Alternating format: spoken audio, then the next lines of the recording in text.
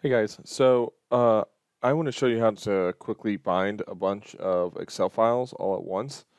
It's really easy to do in AutoCAD, uh, and you may want to do this if you're sharing files externally or you're moving them around.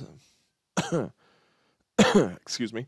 Um, if you're moving them around, you may want to do this uh, because if there's a reference that uh, an XREF inside that AutoCAD file if you shift it somewhere else and somebody opens it and they don't have that path to that XREF, they won't see that file. So you may want to bind it. Uh, this is also useful when you're sharing it with maybe a client or an outside consultant. Um, so currently what I've done is I've opened up AutoCAD. I've created just a empty drawing and I've saved it. Um, now in this example, I saved I saved it in the location of the drawings that I want to bind but um, you can also just save this to your desktop.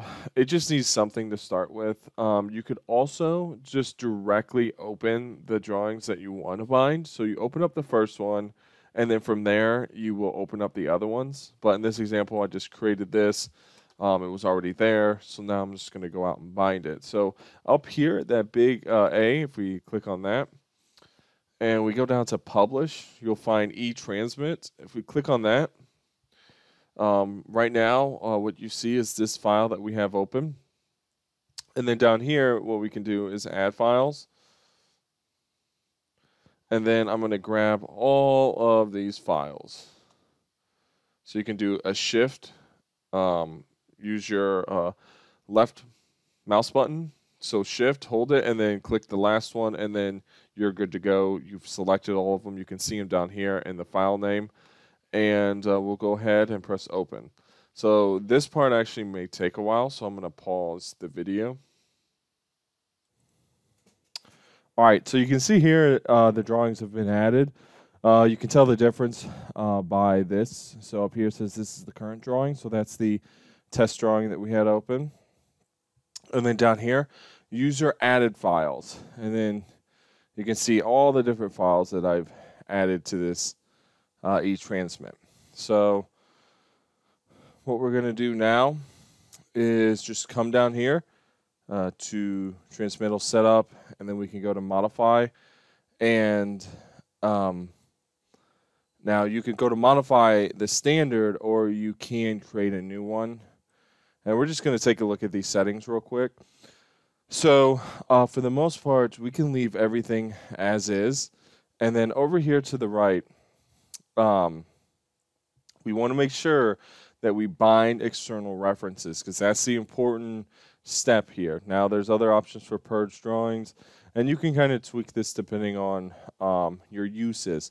But for this case, what we want to do is bind um, the drawings so that we can share them externally. So we're just going to press OK, uh, close. We can see standard setup, so that's selected. And then we can simply click OK. And now uh, the archive package creation is in progress. So what we'll do is just wait through that uh, for that to go uh, through through its steps. So I'm going to go ahead and pause this until it's finished. All right, so uh, that's it. So it ran, it processed them, um, all 25. Uh, I think it was about 25. Um, Yep, 25 drawings and posted it um, in that location that was specified. And if you didn't see that real quick, if I go back into publish, so we'll go back to publish, then e-transmit. Um, I'm going to say no to that. That's just wanting me to save this current drawing. We'll wait for that dialog box to pop up. And then uh, in the transmittal settings and modify, uh, there is a transmittal file folder. Now um, you'll want to to update that depending on where you know if this is the location or not. But you know that way you don't write to the wrong area or even overwrite the wrong drawing. So definitely uh, make sure to update that. I did not uh, specify that, so. Um, um, but yeah, that's one of those important settings. So yeah, after that, uh, you just run it and then you're good to go. It, it goes pretty quick and then you have all your drawings and they're binded. Um, so hopefully this, this video helped you out. Um, and thanks a lot for watching, guys. See you in the next one.